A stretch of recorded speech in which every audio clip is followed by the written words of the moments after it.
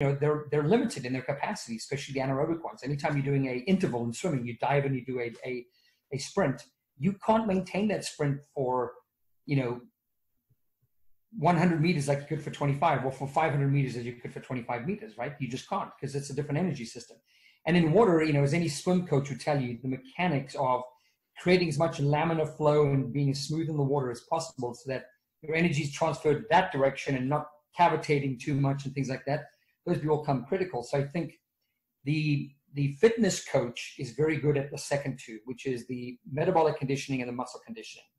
I think the swim coach becomes critical in terms of the mechanic and the mindset.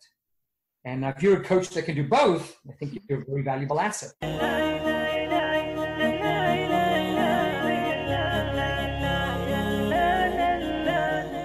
Welcome to the Purposeful Fitness with Coach Ola, where I dive in deeper into holistic health and fitness topics that will help you stay inspired, motivated, and dedicated to living a purposeful, fit life while pursuing for the Akhirah.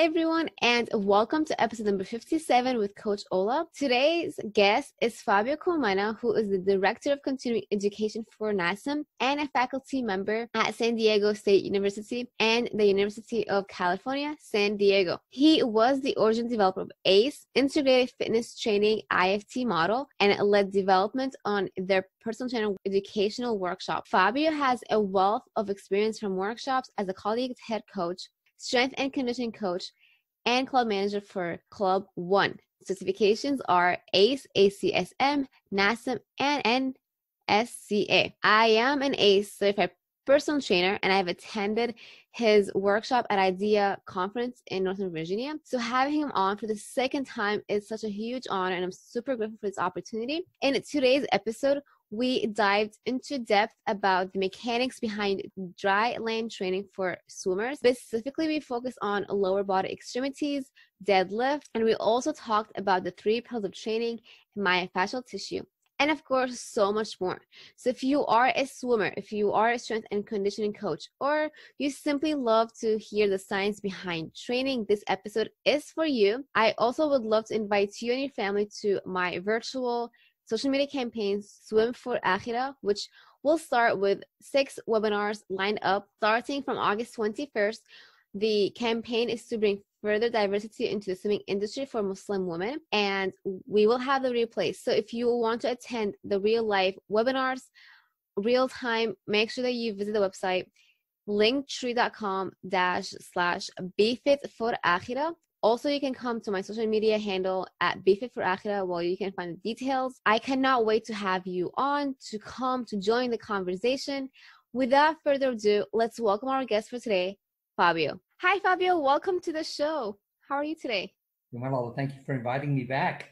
Yeah, you're welcome. Everyone who's watching and listening to this, this is like our second chance, and I'm so grateful to have him on. So, thank you very much. If you don't mind telling us, what are your current projects or updates since anything's new? uh, well, given the situation we're in, uh, you know, obviously I teach at the university, so my biggest challenge has been, you know, migrating all my coursework online. And lectures is not very challenging because we have a lot of resources available for us, but it's all my practical stuff. So I have to go into, we have a, a small gym that we use for educational purposes. The only one there I go by myself and I basically set up my camera and everything and I film and then I'm editing all my video. So we're doing corrective exercise all the way through Olympic lifting because I teach a course in those in those areas and there's a theory portion to it, but we also have a practical portion.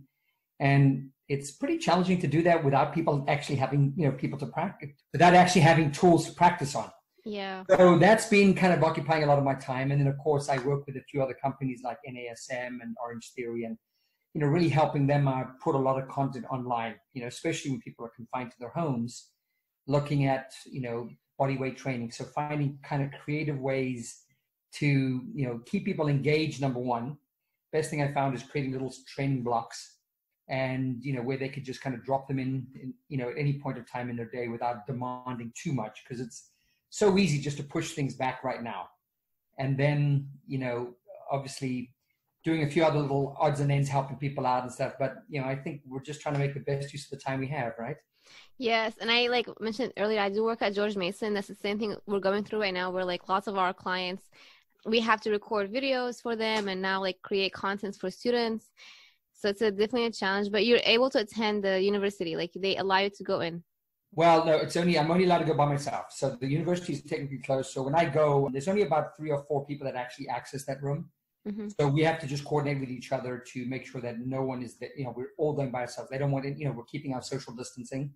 Mm-hmm. So we're abiding to all the rules. We're just basically you know being very precautious about things, and you know, fortunately, it's allowing us to get a little bit of work done because, I said, you know, one of the courses I teach without a practical component, there's really not much I can teach. So this is one way to get around it. But as I said, we have to follow, you know, they, we have to follow very specific guidelines in order to be able to do that. Yeah, that's awesome. And yes, it's a challenge for all of us. And so, you know, the content is changing a little bit from last time I, re- I record this episode with you. And we mentioned how like now I'm, I'm all about swimming and I want to talk to the swimmers as well. So what are the three pillars of training and why is that important for us to focus on on them doing training and how can that be related to swimming as well well you know we talk about we always talk about the three pillars of training and i you know i, I usually don't bring up but i also consider there's a fourth pillar of training and i think it becomes very important in swimming it's mindset right yes. Yes. So when you're in the gym, you know, you've got a variety of equipment, you've got interaction with other people. When you're on a team, a team, you know, like a soccer team, rugby team, you've got the, the camaraderie of teammates. Swimming is a solitary sport right? So I think there's a very important element of mindset. So I'd say for swimming, you have to almost bring in that fourth that fourth pillar, which I call mindset. But the other three are movement mechanics, you know, the the metabolic conditioning and the muscle conditioning. And you know, so I think in all modalities of training, you know, whether it's swimming or land-based sports, sometimes I don't think coaches and and uh, the athletes, or whether they're true athletes or just recreational enthusiasts, give enough consideration to some of them. Everyone thinks about the muscle, you know, so I got to think about, you know, I've got to make my muscles bigger, stronger. You know, if I've got stronger muscles, I can pull far, I can pull harder in the water and I get a more of a power stroke. But we also have to appreciate there's an energy system that's driving that. So you have to appreciate how the energy systems work. And, you know, they're, they're limited in their capacity, especially the anaerobic ones. Anytime you're doing a interval in swimming, you dive and you do a, a, a sprint, you can't maintain that sprint for, you know, 100 meters like you could for 25 or for 500 meters as you could for 25 meters right? You just can't because it's a different energy system. And in water you know as any swim coach would tell you the mechanics of creating as much laminar flow and being as smooth in the water as possible so that your energy is transferred that direction and not cavitating too much and things like that those will come critical. So i think the the fitness coach is very good at the second two which is the metabolic conditioning and the muscle conditioning. I think the swim coach becomes critical in terms of the mechanic and the mindset. And uh, if you're a coach that can do both, I think you're a very valuable asset. Yes, and I miss it so much, and it's so hard like now. But it's so true because when I became a certified swim instructor and teaching people how to swim, it was very a challenge for me because it, like I'm new to it. I'm new to the whole swimming world. So for me, when I found someone like I know how to swim and find my balance and all that stuff, and I'm still working on it. But when I'm teaching like an adult and they have the whole mechanic like upside down and it's really hard to find the balance. I had to put like my personal hat um hat on like you know the stability in the water and like why it's important and i had to tell the the student like it's really important for you to do on land work. Like i can't just expect you to be in water and then bam like you're gonna learn how to swim. Wow. yeah. Well you know i mean i remember when i was a kid and i was swimming i mean yeah. getting people to be buoyant and, and maintain that position is so critical you know and it's it's obviously buoyancy in water is very different than land because the upward force of water.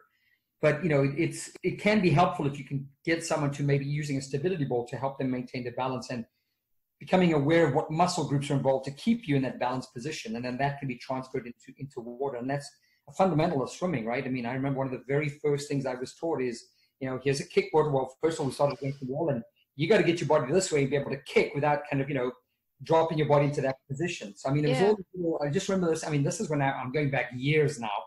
You know, when I was because I started competitive swimming when I was five, right? And you know, I transitioned after after swimming for a few years. I transitioned to water polo because I, I, I was more of a team dynamic type person. I liked more the team sports, but you know, swimming helped me be successful in water polo because I had that that strong background. you know, and I came from a family of swimmers. My mom was the quintessential swimming manager. She wasn't a coach; she was a manager that took us to, to practice four days a week, and we hated it. But I look back, and you know, it was a good thing because you know it definitely yeah. things. But you know, the other concern you got to worry about is the repetitive nature of swimming. You've got mm-hmm. to watch, you know, especially people doing freestyle and butterfly. You know, all that internal rotation. You got to watch, you know, show, the integrity of the shoulder. So one thing I didn't know back then, and of course now that I've learned more about the human body, that I would definitely, you know, include in any swimming program that I, you know, if I was working with someone, is definitely the shoulder mechanics, shoulders, you know, scapular stability, glenohumeral mobility, and doing a lot of rotator cuff work just to maintain that integrity in the shoulder to avoid any potential overuse in the shoulder, which can happen frequently in swimming. Yeah, and actually, that's uh, the IDEA 2020 that I saw you in this year I attended Pete Holman's session and I was like the only one that I kept asking because he talked about the shoulder, the session about shoulder and stuff. And I kept asking, swimming, what about swimming? Like, you know, bring it back to swimming. And it's really oh. important because like it's really used in, in that sport.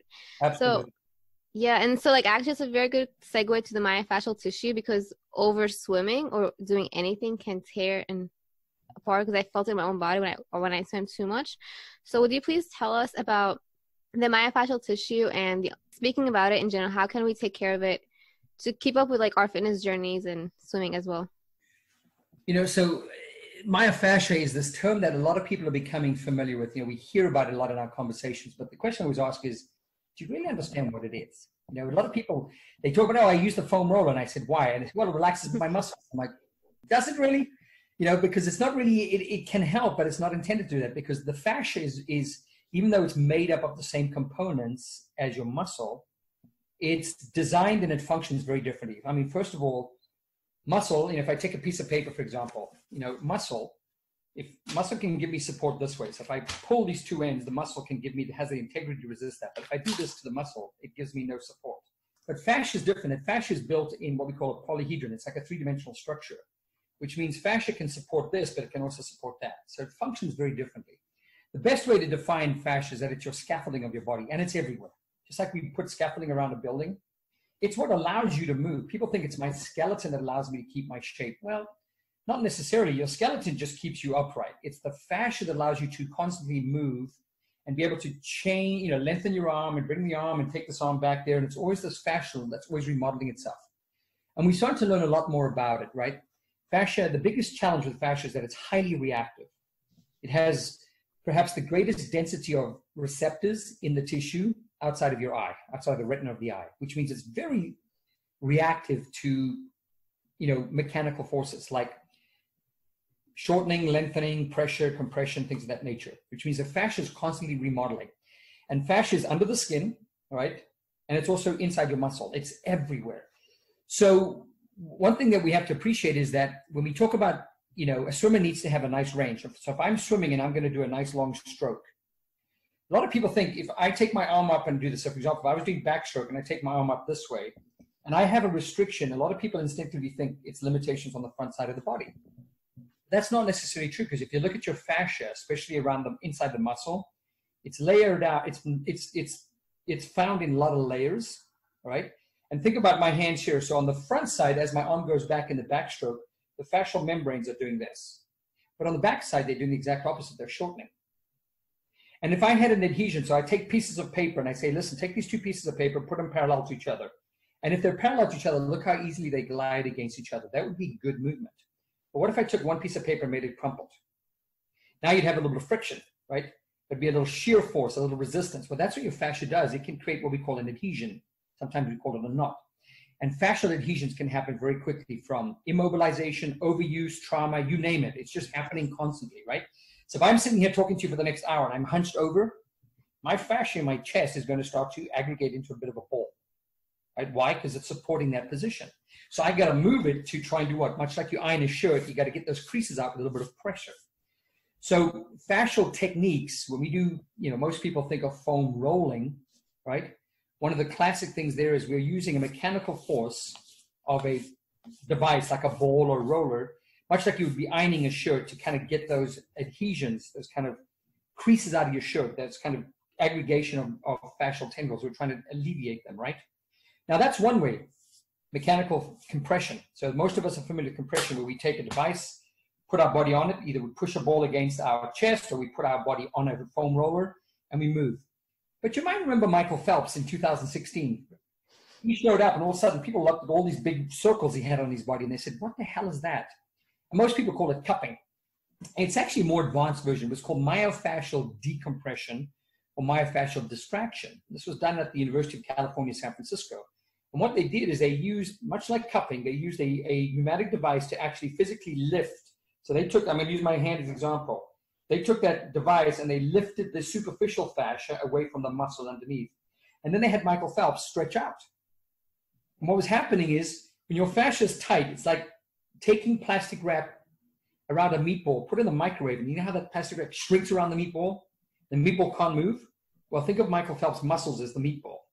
He couldn't move. He was tight. So he needs to expend every ounce of energy to get a nice power stroke, not to overcome resistance in his own body because his fascia is tight. So what they did is they did a decompression part. So what they did is they lifted this fascia off the muscle, and then they allowed him to move his muscle. They did a bunch of exercises. And then when they released it, they actually found that there was some space in there that was not impeding his ability to actually get a nice long reach on his stroke. So he was expending more energy into his power stroke and less energy having to overcome his own friction within his body, so to speak. So myofascial techniques have a huge impact on swimmers. And I'd say every athlete that, you know, if I'm going to swim, obviously my shoulders need a lot of mobility. So I'd be working the front, the side, the underside, the back. I'd be working all that area because just like the meatball, when the plastic wrap is shrunk on the meatball, you don't just pull it in one direction if you want that meatball to move three directions, you've got to pull the plastic wrap in all directions. So I want to get your fascia all the way around your shoulder. So if I'm going to do some fascial techniques, I want to get the chest into the lats, the teres, posterior deltoids. I want to get all over. That way, I'm going to give you the ability to get the maximum reach. So you expend energy moving, not fighting your own friction or resistance within the body. Yeah, and like I'm smiling a lot because number one, like my um the cupping is actually part of like from my faith, it's like people, a lot of the Muslims are like excited about it because that's like what the, the Prophet Muhammad, um, peace upon him, like used to tell us to do. So when Michael Phelps like was all on it, everyone was on it, like all the Muslims like, oh my gosh, like it's part of our faith. So yeah, and that's something that's recommended for us to do as well. Like you know, it also helps with the spiritual healing. I'm like sure. yeah, like pain. I mean, there's so yeah. many, there's an endless list of benefits that we could share when people say, what is myofascial, what are the benefits of myofascial techniques? I would tell you that we could sit and create a laundry list. Because it, it doesn't, it's not just physiological, it would be emotional, be psychological. Because I mean, pain. Pain is manifested from many different sources. It is a physiological sensation, but the cause of it can be many things. You know, because for example, when you're stressed, you go into contraction. And over time, that can create overactivity in the muscle and that can lead to pain. So, you know, myofascial techniques can also, you know, physically, physically release tissue but that can have a psycho psycho emotional impact. So yeah, I think it's it's it's holistic, completely holistic. Yeah, and like also with breathing, because when I attended Helen Helen's session when the about the breathing for people, especially like with trauma healing, because when you're in so much trauma, like emotional and stuff like that, that can really tighten up the body, and then everything is just screwed over. um, so for for someone who is still not understanding the lower extremities, movements and mechanics, uh, would you please tell us on the importance of doing the squat correctly and how can we work on it for that part? So, you know, we use the word squat a lot. And, you know, one thing to appreciate is that a squat is just an exercise. There's really nothing functional about a squat because if you think about it in life, when we bend down to pick things up, our hands are at our sides. So, as if you're really comparing what is functional, the exercise would be a deadlift. Now, I don't want to get people get intimidated by the word deadlift, right? It's a bend and lift pattern. It's where you're bending down to pick something off the ground. And in exercise, the closest exercise we have that is really a deadlift. So I always, when people talk about a squat, I don't want to teach a squat right now because one of the additional requirements of the squat is that your hands have to be up here technically, where you put a bar either in front of your chest or behind your chest. That's what defines a squat. When people say, well, I'm just holding something in my hand, well, it's not really a squat. That's more like a farmer's carry or a deadlift. It's a variation of a deadlift. So why I don't like to teach the squat first is because to get the bar up here, especially if you're putting it behind the bar, it requires a lot of opening up your chest and having a lot of thoracic mobility And if you don't have it, the way the body works is if you don't have movement in one segment, the easiest thing is to borrow from an adjacent segment.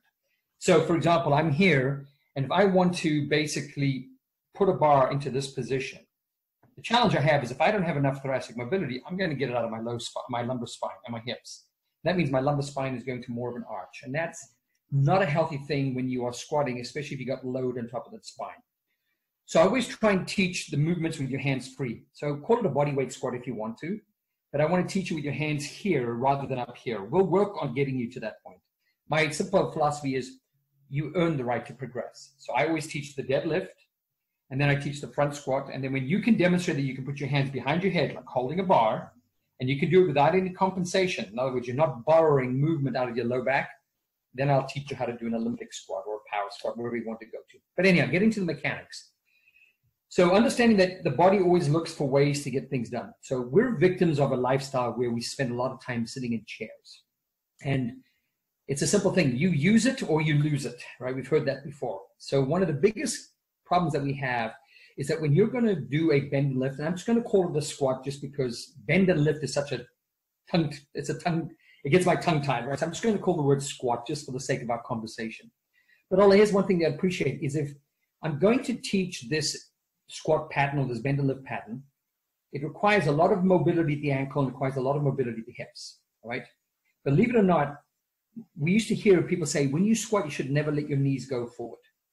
Now, that was an original research study done in 1978. And it has since been disproved that your knees are supposed to go forward. It's just a matter of when and how they go forward, right? So if you're starting to squat, you should never start by just simply dropping your hips because that'll just drive your knee forward immediately.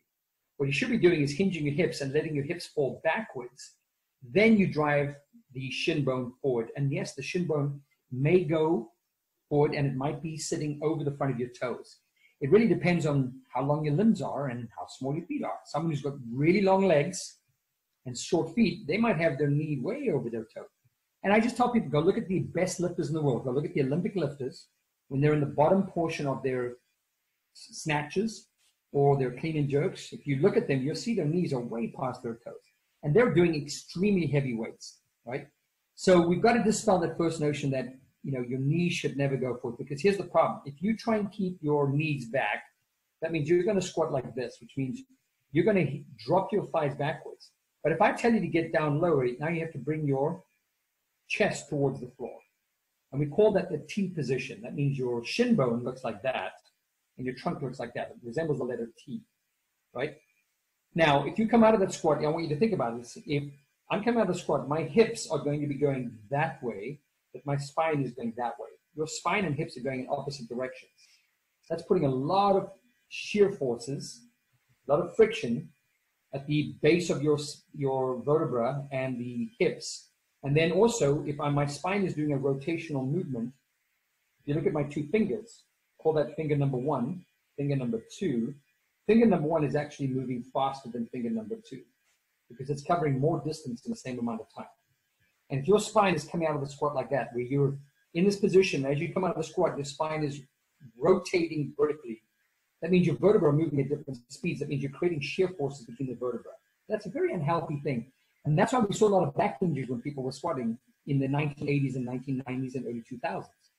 So when researchers revisited the squat, they created, they found that the way to eliminate that back injury is to actually squat into what they call the figure four position. So if you look at my hands, if this is your shin bone, and that's your trunk. And then we take your thigh in between. It kind of looks like the number four. They call it a figure four position. Now, it's not a perfect four. Ladies tend to be a little bit more bent over because they have longer legs relative to their trunks. But men tend to be a little bit more parallel. Now, when you look at this position, I'm coming out of the squat, everything is moving vertically. So that's much safer. So I have to teach that. So the first thing I teach you to do is when I want to teach you to squat is I'm going to look at how you're going to stand. Now, I don't really care how you stand. Just understand this. If you go with your feet narrow, you choose to go to narrow, let's call it the width of your hips. If you want to get your hands to the floor to pick up something off the ground, you're going to need your tibia to go forward a lot. So that shin bone is going to have to fall forward a lot. That means you have to have a lot of ankle mobility. Now, ankle mobility must happen without the feet moving. Your foot needs to remain stable when you're doing a squat. And that's usually the number one error made on a squat is most people don't even bother to think about their feet. They go into the squat and they may start like this, and by the time they've done their first rep, their feet already look like this. Because the compensation is if I can't move forward in one plane, I move into other planes. So some people do what? They go wider with their stance.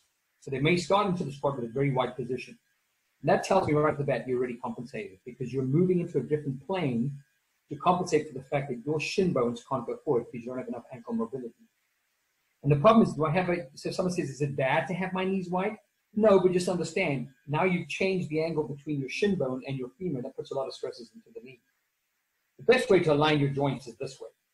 So if your femur, your thigh bone was directly over your shin bone, that would create a nice straight squat. But if you go wider, you're going to create more of that. So you're going to have that little bend, and that puts a lot more stress on the knees. So you have to choose. So the first thing I look at is how do you set yourself up for the squat? If you're going wider, then theoretically, it tells me that I probably want to help you work with a little bit more ankle mobility so that you don't have to go as wide. Now we're teaching a squat. The first thing I want to teach you how to do is to sit back. Most people just drop their hips straight down. And if I drop my hips straight down, that's what happens. My femur, my thigh bone, just kind of pushes the knee out like that, which means I'm squatting a lot with my quads. You want to use the big muscles on the back for two reasons. Number one, your glute is the strongest muscle.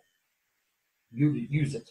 Number two is if you fall backwards, if you actually sit back into the squat, you actually put a load into your hamstrings, and that actually helps stabilize your knee. So I've got to teach you to sit back. But when you sit back, you can't just sit back like you're doing on a toilet. Because when you and I sit in a chair or toilet, we sit back, but then our trunk falls over like that. We just lean forward. You're going to end up in that position. Now, if you're just getting out of a chair, that's not a bad position. But if I put 200 pounds on your shoulder on your shoulders right now, and your spine has to rotate like that to come out, that's a lot of forces. So I want to see more of this position rather than that position. So I have to teach you how to gradually lower, but making sure that you're keeping that position that's somewhat parallel. Pretty hard to do here. I mean, it would be so much easier if we were in a, in a gym together and I could actually show you. But I'd say the easiest thing for your listeners to appreciate is, you know, have them perform as a warm up, what I call a bend and lift pattern. So what I generally use, I take two tennis balls, anything light. You can use two lacrosse balls, you can use two cones, you can use two pencils, whatever you have accessible. Put them on either side of your foot, and I'm going to say to you now, I want you to bend down, pick those up, but I want you to imagine they're really heavy. So we're going to see what kind of bend and lift pattern you do. Because that's my concern is if you look good three quarters of the way, but that last 25% is where you have to compromise and compensate, that's where you may get hurt. And so in real life, I would tell you, you probably want to avoid that, that movement. So how can we fix it? Well, it starts with the ankle. If I give you more ankle mobility, you can avoid this in the lowered position because if I need to get your hands to the floor and this doesn't go forward, the only option is to bring that down. Now you're in that T position, which means when you come out of this, the spine is doing that.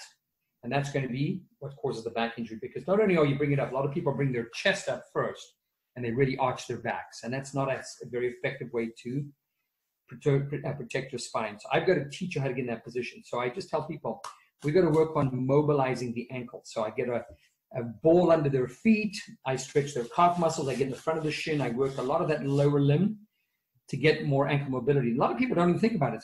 If you to ask your, your, your listeners, how many of you think about your ankle mobility in a squat? Probably you'd probably find very few of them would say, oh yeah, I do. Most of them are thinking about their back and their hips and which muscles they're targeting. They're not thinking about the ankles. You know, they're worried about their knees falling in. Remember, the knees fall in because a lot of times of what's happening at the ankles. If the ankles collapse inward, which is a compensation, because if I can't move in this direction, I move into other directions. That's the way the body finds movement. And if your ankles collapse, your knees are just going to follow. So we shouldn't be teaching you to say, keep your knees straight. That's the consequence we should be addressing the cause. The cause is a lack of ankle mobility or it's a lack of hip mobility. You got to work, you got to kind of figure those things out. That's why a trainer is a good person to work with, right? Because the trainer can help you identify these things and put you on a path of corrective exercise so that number one, you'll squat more efficiently, which means you'll be stronger. But number two, you're also not going to get hurt because one squat won't get you hurt. It's 10,000 squats done badly will probably create the injury. And that's why I think there's value in working with a strength coach or personal trainer because he or she is going to recognize these shortcomings, these movement compensations, if you want to call them, and they're going to help you correct them. And so it starts with ankle mobility. Then I need to teach you how to sit back more to engage the posterior chain. But the most important thing is when you drop into that squat position, I just tell people take a look. If you've got a mirror, look sideways into the mirror and look at the orientation. Imagine me holding a stick along the length of your shin bone and the length of your trunk. And if you're seeing more of this, which is very common in the gym, you are an injury waiting to happen. So I need to break you out of this and get you more towards that, where your shin bone does go forward because the ankle permits it, and that way you don't have to drop your chest as much. You can kind of stay in that position. But there's also one last thing. Imagine I have a stick as you're dropping the squat placed along your spine. What I want to see is it making three points of contact. It should be touching between your butt cheeks, your sacrum, touching between your shoulder blades on your thoracic spine, and touching the back of your head. And that natural curve in your low back should be there or it should be almost disappearing. The two things you don't want to see is a rounding of your low back. So we call it the butt wink. When people drop into a deep squat and they tuck their butt underneath, that creates a lot of rounding. The spine in flexion is very weak. Number two, we also don't want to see an increased arch. So your spine, from when you're standing into that position, the three points of contact, the back of your head, between your shoulder blades and your tailbone, should ideally remain in a nice straight line. That's a nice strong spine. And that's the way to avoid a back injury in a squat. Sorry, I went on a little longer. Sorry. Oh no no no! It's actually very interesting because as soon as I, I entered the swimming world and like becoming better at it, when I actually had to work my my breaststroke technique because it was completely wrong, I had to work on the land, you know, walk like a duck kind of thing. The feet here, that was like on ankle. I had to focus on. And then number two, my aquatic director at Mason said that's why a lot of people who do the breaststroke tend to have knee pain in the long run. And eh, you're right because like the upper body, the shoulders, I noticed a lot of swimmers also like rounded forward like lifeguards and swimmers, and I'm like, why? so. Well, but that's an important point. I think you make an important point. So it's, yeah. breaststroke requires a lot of external rotation mm-hmm. in the lower extremity. So as you can do the frog kick, yep, external rotation. And if that's all you do, all right, you become very tight on the the what we call the lateral rotators. So now you go stand up and you're standing outside of the pool and you naturally see a little bit of that external rotation. So swimmers have to balance that. Unfortunately, it's not just swimming. Every sport, I would say, I don't think there's a perfect sport that will create perfect balance in your body. Every sport demands certain movements that can sometimes create imbalance in the body. And I think you just address them, you hit the nail on the head in, in breaststroke.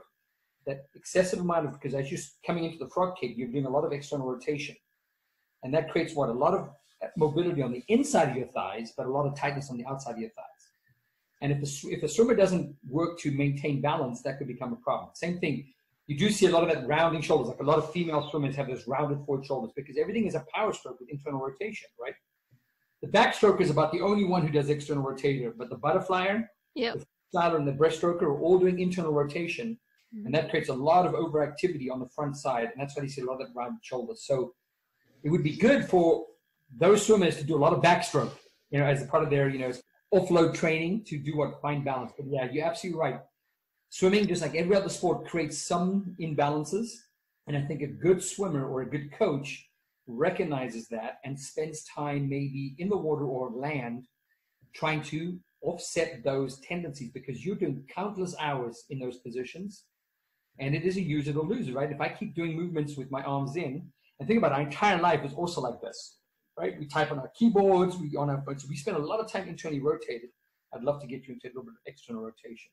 So that would be a good thing to recognize. So I think you hit the nail on the head that swimming can create some partial, you know, distortions, but it's not just swimming. Every sport can do that, and it's a good coach that recognizes that and creates part of their programming as a way to ensure that they're maintaining balance on either side of the joint. Yes, and I lost my thoughts, but also with like the flutter kicks like when it comes to the freestyle, right? In the backstroke, the same thing with the legs. It's very like because with my students, a lot of them don't know how to like kick it right, and that does impact the imbalance. So the last few questions: What is the difference between a lumbar spine extension and a torso hinge, and how is that important for the deadlift as well? So, well, lumbar. I, I think we need to clarify lumbar extension and lumbar hyperextension are 2 mm-hmm. things that we need to clarify. So anytime you're in flexion, so if I bend forward, so let's say I'm going to stand and I'm just going to, you know, I'm going to go sit, say sit on the chair. as I sit in the chair, I get a little bit of flexion of my trunk because my trunk comes forward a little bit. So I'm kind of doing that. If I bring myself back to normal, back to that position, that's called lumbar extension. That's a very normal thing. We should all be able to do that. What I'm worried about is when people go into hyperextension. So think of a classic person who's lying on the floor doing what's called a Superman. So the Superman exercise is where the person lies on their belly and they bring their arms up and they bring their back up, right? So they might say, well, that's good for butterfly because look at the motion. We're creating that, you know, that arching. Now, granted, when you're standing vertically, that hyperextension of the spine is dangerous because that puts a lot of compression into the discs, right? However, when you're lying down, there's not as much pressure on your spine because gravity is not really playing a role there, but it's still not good. So lumbar hyperextension is something that we need to be very careful of, right? So I would say you're teaching your your you know athletes how to you know because again buoyancy requires them to maintain good lumbar extension, not necessarily hyperextension. Because a good butterflyer gets a lot of that movement out of their hips, right? So as they're coming up to do their butterfly stroke, there's a little bit of lumbar hyperextension, but a lot of it is coming out of the hips. The hips are propelling the torso up, right? So you're going to get a lot more power out of your hips than you will get out of your low back. So a good butterflyer is someone who gets that drive to bring their whole body up, bring the chest and arms out of the water. That power is coming out of their hips.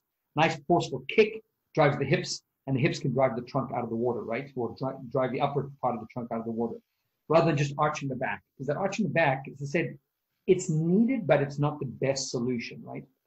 So that would be something I'd want to avoid. So if I've got people doing land-based training and I'm teaching them how to get that motion, like on a stability ball, and I might be teaching that hip hinge, that hip hinge or that hip drive that brings them up. I want to make sure I would say the movement comes out of the hips. So I would use an analogy of your hips as a bucket of water filled to the very top, right? So I've got this container filled with water right to the top. And what we call an anterior tilt is right tilted forward so the water falls out the front. And the posterior tilt is where water falls out the back. Now in swimming, a lot of hip movement, you've got to move water out the front and the back continuously, right? So I want to teach you how to move your hips. So by creating a posterior tilt, an easy way is just say, let's do a reach behind our head, right? Now, if you're standing up and do that reach behind your head, or if you're lying down and you do it all just out of the low back, in other words, the hips don't move, you're going to feel a lot of tightness, a lot of tension in your low back. And you shouldn't be feeling that. First thing I want you to teach it is don't get out of your low back. Let's tilt the hips backwards. You can still reach backwards, but make it out of the hips. That way your lumbar spine feels like, hey, I didn't really have to arch that much. So I want to teach a lot of movement on hips. So when we're teaching lumbar movements, I want to make sure that the lumbar spine going to extension is, is, is okay, is acceptable. But the lumbar spine going into hyperextension, where you're getting an increased arch in your low back, you might want to be cautious with that one. All right.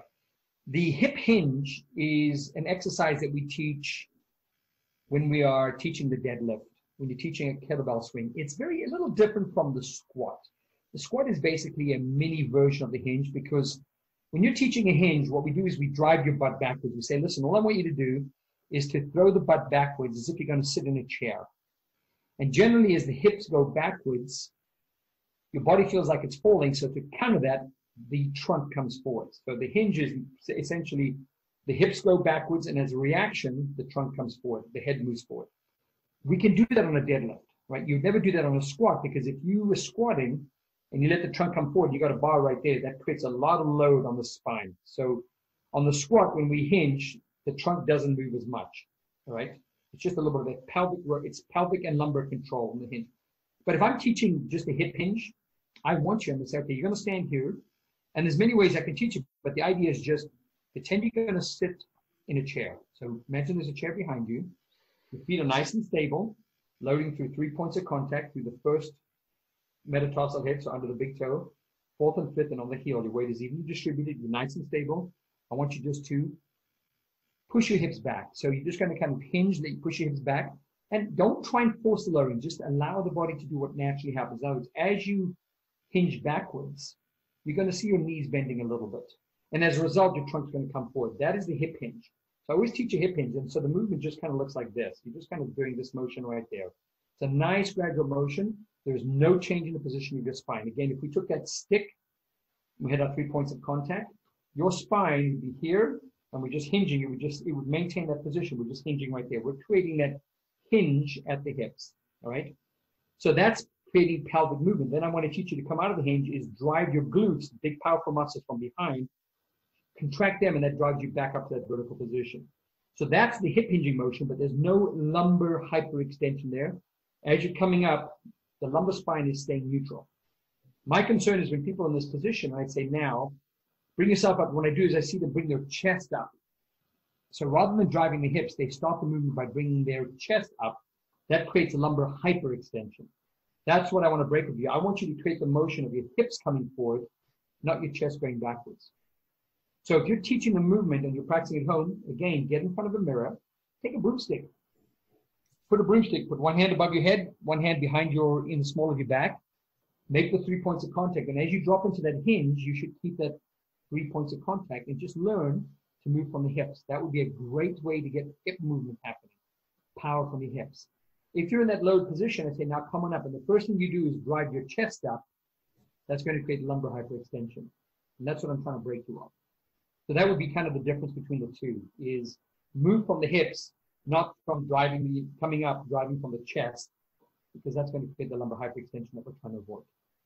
These are amazing points. And I'm like taking notes like I'm studying. It's amazing. So if I were to summarize this in three top takeaway messages for our audience, I need your help. So number one is to focus on your. You talk about the hinge or?